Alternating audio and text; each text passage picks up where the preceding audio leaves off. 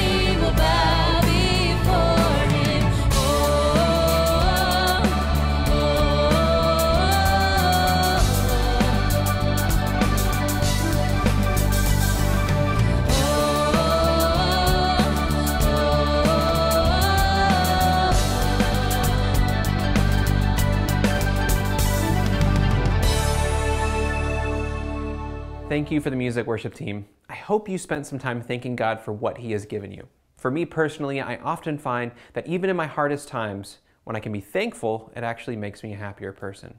Being thankful can bring you joy, believe it or not. Now we're going to move into a time of giving. I often talk about the fact that we are not trying to ask you for your money here at Estero Church, and that really giving is just a time between you and God. Did you know that Jesus talked about money more than any other single human topic? 15% of his teachings are about money. If nothing else, that should tell you that your money is a huge deal, and it's important that we get it right. How do you get it right then? Well, the first step is realizing that it isn't yours. We are stewards of God's money. And then the next step is to invite Jesus in and ask him what you should do with it. It's his, so we should bring him into the process. That's it. So if you would like to give to Estero Church, you can do so by clicking the link in our chat or by going to our website, estero.church, and clicking the button at the top of the page that says Give. Now, let's join together to hear what God has to say to us through Pastor Tim. Good morning, online church. This is Pastor Tim. Hey, I want to welcome you this morning. Uh, add my voice to Pastor Chris's. Uh, we're just so glad that you're here and worshiping with us, particularly if you're one of those folks who has uh, headed back after your season here to the heathen north. Hey, go with our blessing. We hope you've arrived well. And man, do what you can to be a blessing uh, where you are this summer. So, we are talking about this idea of how to transition or doing transitions well. And last week I tried to make the point that we are all in transition all the time. Transitions are just a natural part of life, and that it's important for us to do them, to figure out how to do them and do them well. I talked about John 13 through 17, which is this extended conversation that Jesus had with his disciples the night of the Last Supper, and how, in so many ways, Jesus was preparing them for the uncomfortable um, transition they were about to face, and he was also preparing himself. And if you read those chapters with that uh, through that lens, and I challenge you to do that. Go back and read John 13 through 17 through the lens of okay, how is Jesus making transitions and how's he preparing himself for those transitions? Part of the focus of a good transition is hey, what do we have to do to leave our current situation well? What do we have to do in order to be able to leave here and get where we're going? Of course, you don't always get that choice to work through the whole process. And sometimes I've been with just too many families over the years who, who suddenly lost a loved one through either a medical issue or an accident and in many ways, it made that transition of losing that loved one uh, just so much harder. It's an interesting question of um, sort of which is better, which is a better way to pass, to go suddenly or to have more of a lingering kind of thing or a buildup. To think of transitions, sometimes it's easier to, to think in extreme cases and then once you get the perspective that the extremity offers, you just kind of back up from there. So suppose you went to your doctor and your doctor told you, hey, listen, you have a rare, untreatable condition, and unfortunately, you're going to suddenly drop dead sometime between seven and 10 days from now. So you have seven to 10 days to live what would you prioritize to prepare yourself and the people around you for that event? What conversations would you have? What intensity would you have them? Who would you talk to first? Would you make a list of people you wanted to communicate with? What business of getting your affairs in order would you make absolutely sure happened? Who would you insist on seeing personally? Who would get a phone call? who might get an email? Would you allow yourself or the others you're speaking with space for grief? Or would you insist on it just being positive? What soul work might you prioritize? What might you have to do internally to do that? Of course, the extreme, the extreme situation I'm describing would add intensity to your situation. And intensity often brings clarity.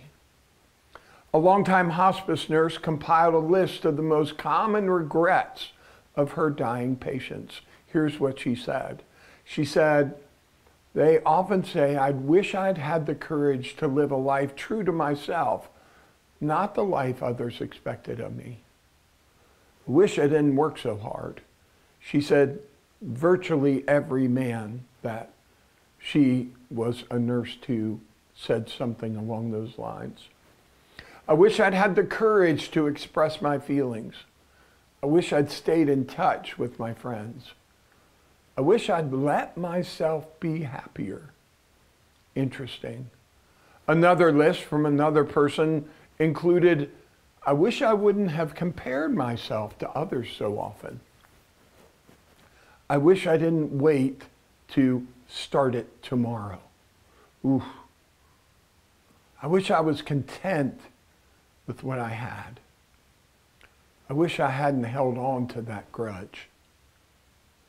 What might some of those be for you if you think through when you're ready to make that transition? Intensity brings clarity, which really, again, makes this conversation Jesus has with his disciples in John 13 through 17 so rich. Because of the intensity of the conversation, there's so much in there, packed in. Jesus is preparing himself and his disciples for the transition of the cross and the resurrection. And as I said last week, there's value in taking note of how he prepared them for this transition. He gave them a powerful object lesson by washing their feet and being their servant. He predicted that this transition would be devastating for Judas, and it was.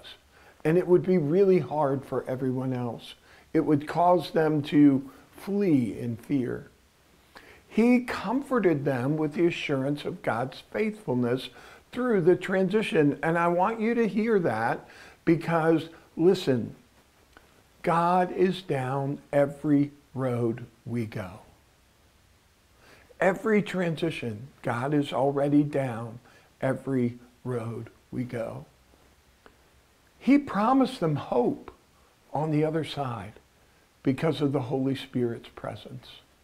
And there is hope and comfort. He talked about their ongoing connection. He talked about their mission. He talked about things like the vine and the branches. He promised them, listen, I'm still going to be with you, even though it'll be different. He strongly reiterated and, and he actually repeated himself on things that they would need moving forward, like obedience to God's will. And then he restated his purpose. This is why I'm here. And he restated their purpose. The Father sent me, so I'm sending you. And finally, he prayed. And he prayed for himself, and he prayed for them. Man, I so wish I could remember the name of the family I did a funeral for a few years ago. It's actually here. The family had three daughters. It was their father's funeral. Uh, they were, uh, the family, the folks only came here a couple months a year, and the father passed while they were here, and they had a service here. All three of his daughters, they talked, they laughed, and they cried as we planned the memorial service. And all three talked about how their daughter had prepared them individually for his death, even though he had died unexpectedly. He had spoken powerful words of grace and truth over all three of his daughters. I remember thinking how much I wanted my family's experience of my death to be like that if it could be. He had done that transition so well, even though he didn't know when it was coming. Of course, as great an illustration as death can be, it certainly isn't the only transition in life. But the same general principles apply. That's why it's such a good illustration. Whether it's marriage, or having children, or divorce, changing jobs, getting a promotion, moving, finishing school, going back to school, retirement. And then there's all these internal transitions as well. We grow and change as we age. If you've been married for more than, I don't know, two weeks, three weeks, you know that it's, it's different. How many of you have been married a long time? You are not nearly the same person you were, and neither is your spouse. We grow and change as we age. Hopefully, we grow and get more healthy and better adapted to our life as we become more like Jesus. And it's interesting to me personally how one of the biggest transitions that Cindy and I have had to make in our marriage came not because of different circumstances, as much from the internal changes that we made as we became healthier human beings. And as we grew, it changed the dynamics between us. And we had to change how we functioned together and functioned with each other. For our church, we're transitioning out of the United Methodist Church after 104 years. And we'll be transitioning into a new Methodist denomination sometime over the summer. For me personally, I will be transitioning out of being a United Methodist pastor after 27 years. So, what do we and what do I have to do to transition well? What conversations do we have to have? Who do we need to have them with? What business affairs do we need to get in order to be ready to make this transition well? Because we're transitioning from one thing to another, are we going to allow ourselves to grieve in the midst of the hope and the excitement of the new? For me personally, preparing myself to leave United Methodism I've compiled a list of 12 people who all will be remaining in the United Methodist Church. And by the way, it just happened to be the same number as Jesus' disciples. I wasn't being all spiritual. But for those people, I've been calling them to say in one form or another that disaffiliation is going to change our relationship. And I'm thankful for them. I'm thankful for our friendships. I'm thankful for the blessing that God has given me through them. And while I'm disaffiliating from the United Methodist Church, I am not in my heart disaffiliating from them. I'm about halfway through those calls, and so far, they've just been really good conversations. But also, as part of my transition, I need to write a really hard letter to several of the powers that be to let them know how their actions have affected me and others. Part of this transition for me was a few hours after we voted uh, on the 16th, I found myself on the swing in the backyard in the dark, and I started to cry. Some of that was stress relief, some was sorrow. It was all necessary. I've also been preparing myself mentally. I have to make a shift. I have to think differently. It's part of the transition. As a church, I think we primarily need to have conversations and speak to the people who have come before us as members and constituents of Estero Church we need to express our gratitude to them for the blessings we've received because of their faithfulness, as imperfect as it was. And that's another part of doing transitions well. We don't have to pretend that what we're leaving is better than it was. And we can celebrate that in spite of the fact that it was imperfect, it was still good and God still used it.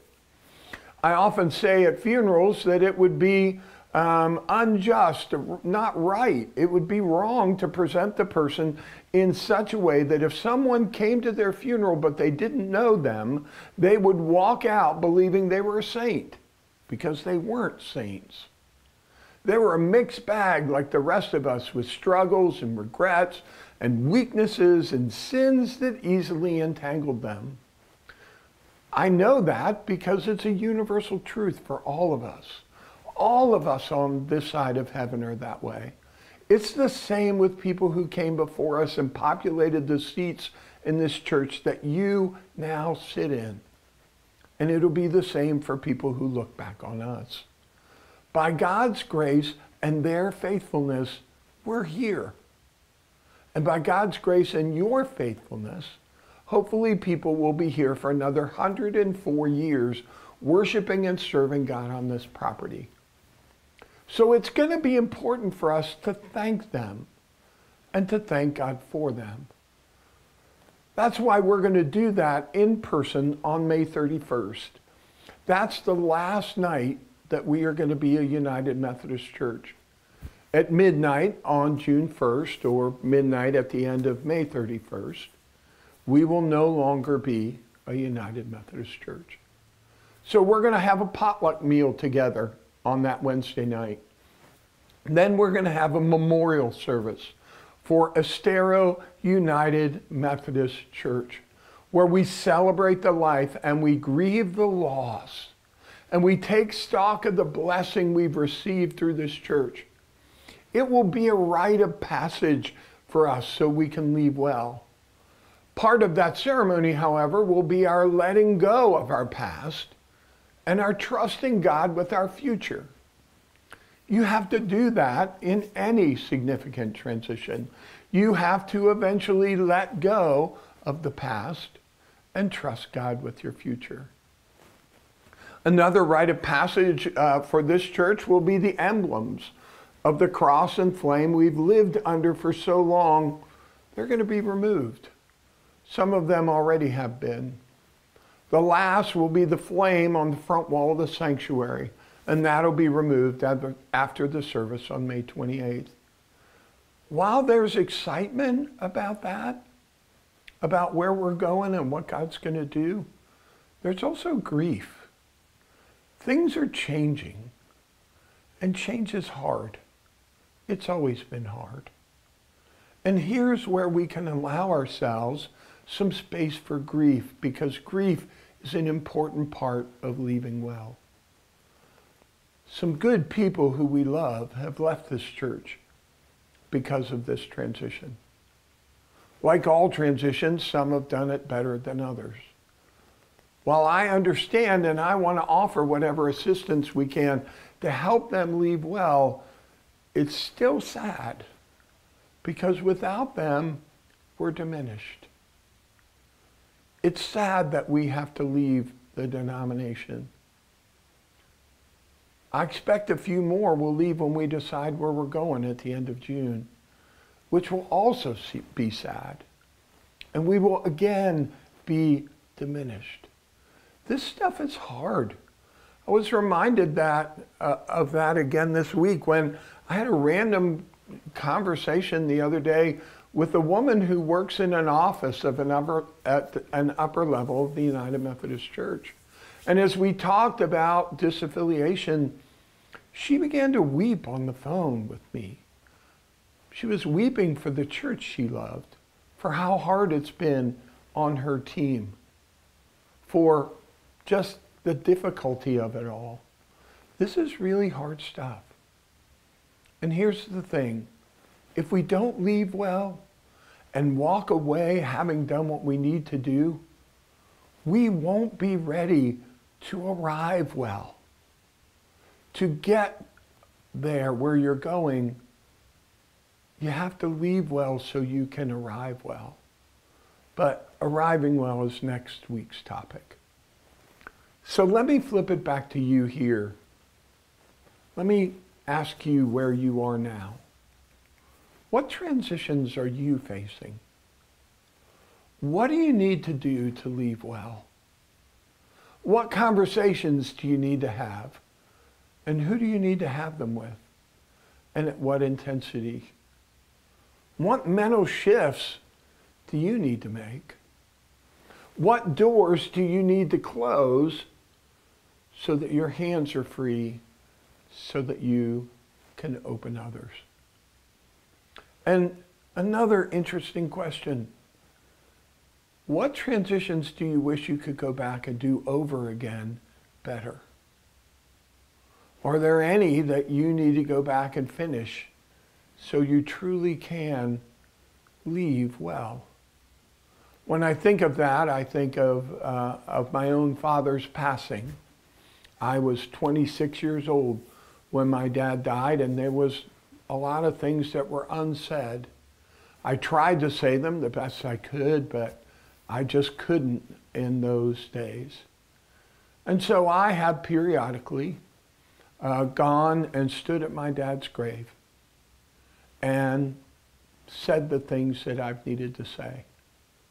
Uh, sometimes it's just been sadness that he's not here and all the things that he's missed. I so wish he would have hung around long enough to meet my kids and my grandkids. He would have loved them and they would have loved him. Sometimes it's been about some of the harder things between us. And I've had to give him back some of the things that he gave to me that, that weren't mine to carry. Sometimes it's just been expressing love.